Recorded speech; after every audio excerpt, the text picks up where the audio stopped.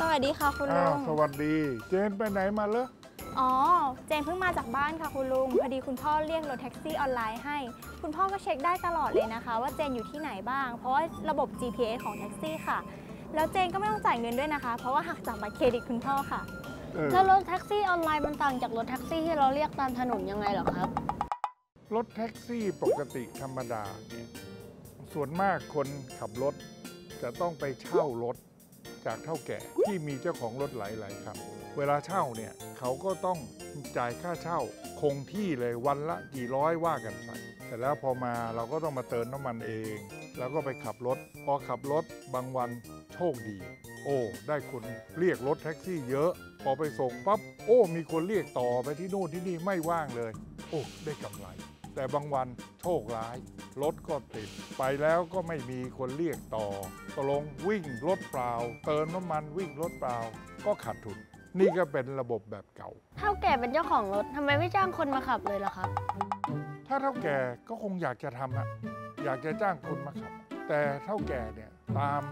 หรือไม่มีข้อมูลเกี่ยวกับคนขับ ข้อมูลอะไรรู้ไหมที่สำคัญ ก็คือ พอจ้างคนมาขับ จ่ายเป็นรายวันหรือรายเดือน คนขับขับรถออกไปหา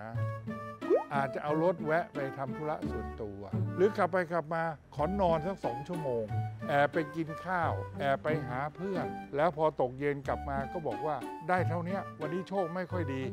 คนผู้โดยสารน้อยได้แค่นี้ตกลงเท่าแก่ก็ไม่สามารถที่จะติดตามได้ เพราะว่าไม่มีไอ้ระบบ GPS เหมือนกับที่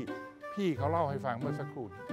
งั้นก็ไม่ต้องจ้างสิคะคุณลุงทำไมไม่ชวนคนมาขับ แล้วก็แบ่งรายได้แบ่งกำไรกันล่ะคะ อ๋อ เหมือนร้านตัดผม ใช่หค่ะ รือเหมือนนวดแผนโบราณอย่างนี้ใช่ไหมใช่ค่ะ ก็คือว่าพอมีคนมาตัดผม ก็จะแบ่งว่าร้านเอาไปกี่เปอร์เซ็นต์ คนตัดได้กี่เปอร์เซ็นต์ใช่ไหมอันนั้นเนี่ยพอคนมาตัดผมหรือคนมานวดแผนโบราณ เจ้าของร้านน่ะมันเห็น ว่ามันมีกี่หัวที่มาตัดตกลงก็เลยพอจะรู้ว่ามันมีระบบควบคุม มีระบบที่จะได้ข้อมูลว่ามันมีกี่คน ก็แบ่งกันได้อย่างเป็นธรรม แต่ว่าไอ้ระบบแท็กซี่เนี่ยพอเขาเอารถไปเรียบร้อยจากเท่าแก่ วิ่งไปเขาไปทำอะไรไม่มีทางรู้เลย ถ้าไม่มีระบบ GPS ตกลงไอ้ระบบอย่างนี้ก็ไม่เกิดเหมือนกันอ๋อ เดี๋ยวนี้มีระบบ GPS ทางบริษัทก็สามารถตรวจสอบออนไลน์ได้เลยใช่ไหมคะ ใช่ พอมีระบบ GPS และพอลูกค้าเรียกออนไลน์ปั๊บ เขาก็จะไปบอกคนขับรถว่าไปรับลูกค้าที่ตรงไหน พอไปถึงปั๊บออกจากนั่น คนขับแท็กซี่ก็จะต้องกดมิเตอร์ หรือทางบริษัทก็รู้เลยว่า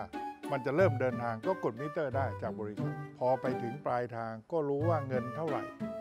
และขณะเดียวกัน สมัยนี้เขาโอนเงินมาให้กับเจ้าของรถคือบริษัท และบริษัทก็เลยจะมาแบ่งต่อให้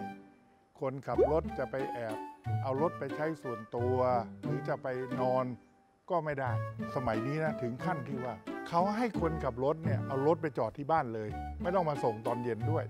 เพราะเขารู้ว่ารถมาจอดหรือไม่จอด หรือรถเอาไปใช้ที่ไหน เพราะระบบ GPS มันตามได้ได้หมดเลย เหมือนบริษัทรถสีเหลืองๆที่ว่า